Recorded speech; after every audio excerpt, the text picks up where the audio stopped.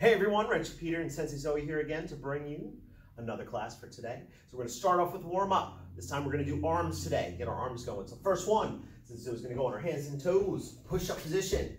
And she just shoulder taps with one hand and then switches. Now if this is a little tough, what you can do is you just put your knees down and do the same thing. Just like that. Nice. Good. Second one, push-ups. Doing your push-ups as far down as you can. Again, if it's too hard, you need a little bit of extra help, you just put your knees down, doing your push-ups that way. Good. Next one is called crossover. So she's in push position. She steps her hands and feet over to one side. And then she goes back. And again, to one side and back. Good. And next one, up. This one, you're to need a chair for.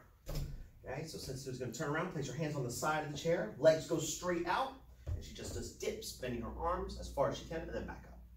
If it's still a little hard, just bring your legs closer, keeping your knees bent, and dip in the same way, and back up. And then last one, really tough. On the knuckles,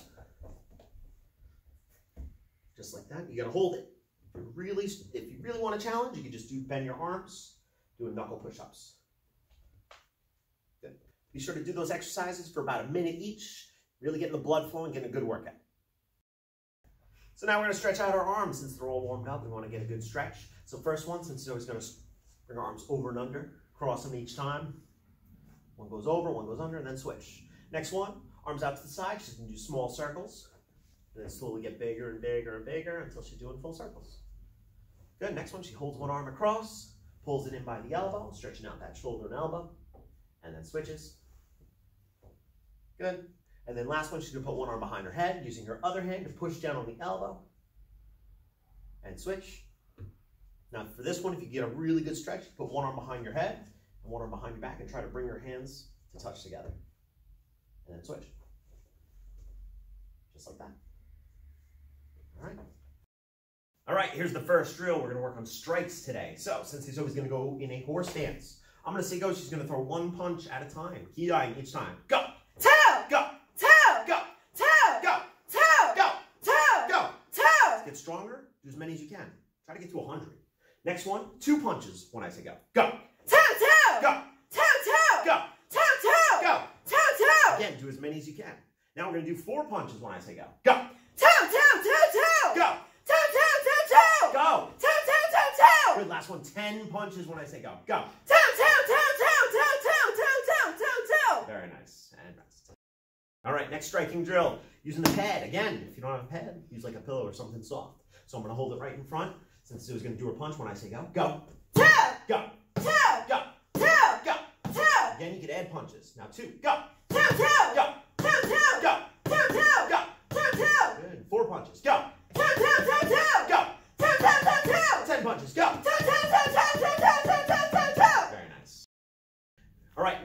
Striking drill. We're going to use the ball again, just like we did yesterday with the kicks. So since he's always going to hold it, she's going to throw it up in the air, and she's got to punch it. Go.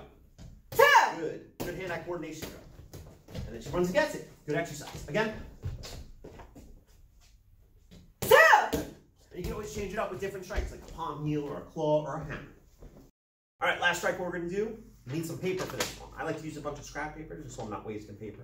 Since always going to get into her stance, I'm going to hold paper firm in my hand and extend it out. Do not hold it close. You might get hit. So I extend it out since it punches right through the paper. Now to reuse it, you just fold them over. Now you got double layer. Ready? Go. Good. Then as you get better, you try more layers. Triple layer. Go.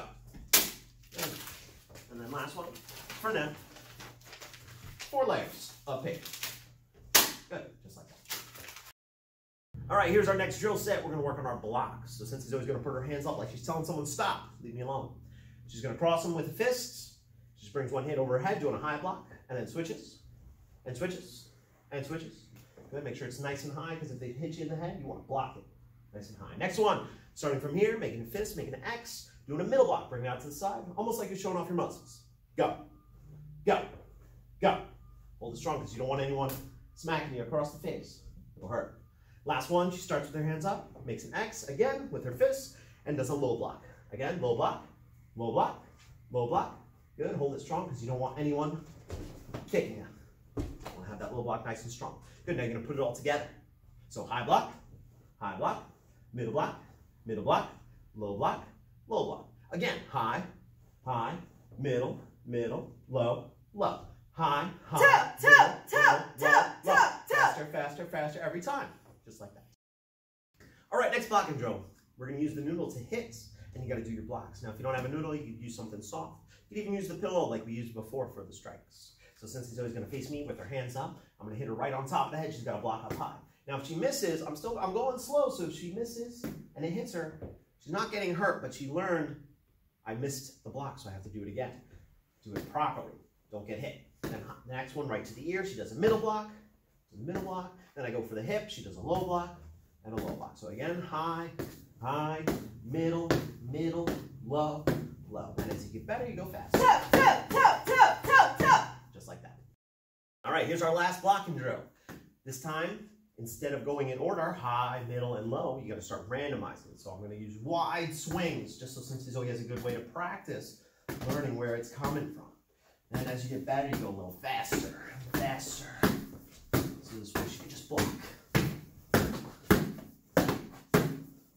Trying not to get hit. All right, now it's time for level. So white belts. You're going to start off with your strikes. Since Zoe's going to go to horse stance, to practice punching from your horse stance. Make sure your knees are nice and bent. Ready? And go. Two! Go. Two! Go. Two! Go. tap, So that wrist is strong, keeping the fist nice and strong. Go. Two! Go. Two! Next one, palm strike. Go. Two! Go. tap, Go. tap, Go. tap, Very nice. Almost like a high five. Go. tap, Go. tap, Good. Last one, claw strike. Making your hand into a claw and scratch now. Go. tap, Go. tap, Go. tap, Go. tap, Go. tap, Go. tap. And out. Orange belt, your turn. Since Zoe's gonna go in a horse stance, she's gonna take her fist, bring it up to the sky, and down like a hammer. Hammer fist. Go. Tap, Go. tap, Go. tap, Go. tap, Go. tap, Go. tap. Good. Next one, bent knuckle strikes. You're gonna roll your fingers down halfway, just like that, and punching out with your knuckles. Go. Tap, Go. tap, Go. tap, Go. tap, Go. tap. And last one, thumb strikes. You're gonna make your fist, put your thumb on top, so this way you're hitting with your thumb and the fist at the same time. Ready? And go. Tap, Go. tap, Go. tap, Go. tap, Go. tap. All right, yellow belt's your turn.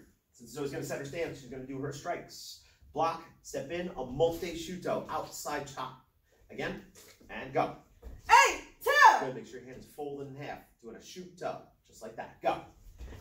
Tap. Good, next one, ura shuto. She's gonna block, step in, inside chop, and back. So again, go. Eight, tap, Good, one more time. eight, tap. Good, next strike, Shikan Ken, just like from Orange Belt. Bent knuckle strike. Go.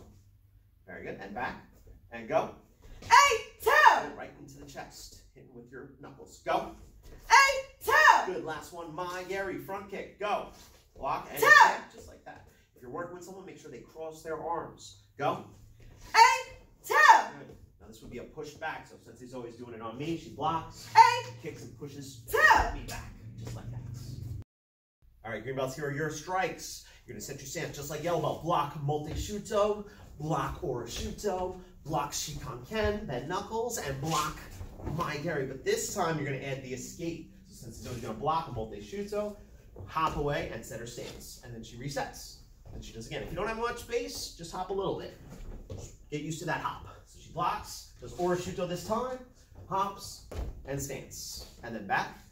Next one, shikan ken, blocks, shikan ken, hop, and stance. And last one, mae geri. Now, if you want to add a roll on any of these, you can. She blocks, kicks, hops, and then adds a roll. It could be a front roll, a back roll, a side roll, or even a car roll. All right, blue belts, here are your strikes. We're gonna set our stance. First one, Fudo Ken. Block, step in, punch, reset. Next one, Ryu Ken. Block, two finger flick to the eyes. Next, Shitan Ken. Three fingers right into the throat. Reset. Sui Ken. Four fingers to the neck. Jin Ken. Five finger flick right to the face. Next one, Shahan Ken. Five fingers closed, hitting to the side of the neck. Shako Ken, claw strike, just like from white belt. Soki Ken, block, grab, and knee. And Soko Ken, block, and then kick straight up into the arm using your shin. All right, purple belts, here are all your strikes now. We set our stance. First one, Shuko Ken. Block, bent wrist strike. Sweet Ken, hammer fist right from orange belt. Next one, Shishin Ken. I block, sip in, pinky strike to the neck. Ko Ken. I bend my thumb on top of my fist and I hit with my thumb knuckle right to the temple. Shito Ken, same as Boshi Ken, but this time I use my thumb to slash across to the eye. Happa Ken, there's three of them. I block, I use my cupped hand to hit the ear. I can do it again on the other side. And then I can do it with both. All of them are good. Next one, Oshu, palm heel, straight from wide belt. Soshu, full hand claw, right to the throat. Kikaku Ken, I block, I grab, headbutt. Make sure you go to the side, don't hit your partner. Shuki Ken, I block, grab, step in, elbow strike to the ribs. Tai Ken, this time I use my shoulder and I hit to the body, pushing them back. And last one, block, and she can bite. All right, brown belts, here are the rest of your kicks from yesterday. We set our stance, she punches, I go to the outside, I parry, and I use the bottom of my foot to hit to the shin, mukuzungeri, or stop kick, stopping her from punching in. Next one, kurubushigeri, I block, I grab, and I use the ball of my foot to kick to the ankle. And then reset, then I can go outside, block, kick, and last one, this time I use my ankle and I kick to her thigh. Kurubushigeri. Next one, Soko Fumiori. Block, grab, stomp, heel to foot. So again, block and stomp. Last one, Ushiro Muki no Saigeri. As you punch, they just turn and back kick. Right to the hip. So again, Ushiro Muki no Saigeri. Longest name, easiest kick. All right, now time for a game. All you need is a die, a paper, and a partner. To play, what you need to do is first write numbers one to six on the paper and put an exercise. You can even put a technique, a strike, a kick, whatever you want to do on that paper. And then you roll the die. I roll it for Sensei Zoe. It's a five, so Sensei Zoe has to do ski jumps. So she's doing it for one minute. Doing her ski jumps. Go, go, go. Good end time. Then I give her the die. It's her turn to roll for me. Go. It's a four. So I have to do snowboard jumps for one whole minute. Then I roll again. This time, since Joe gets a three, jumping jacks. So she's doing that for one minute. So like I said, all you just need to do it with a partner, a die, and a piece of paper, and write down whatever you want to put on your numbers to do for the game.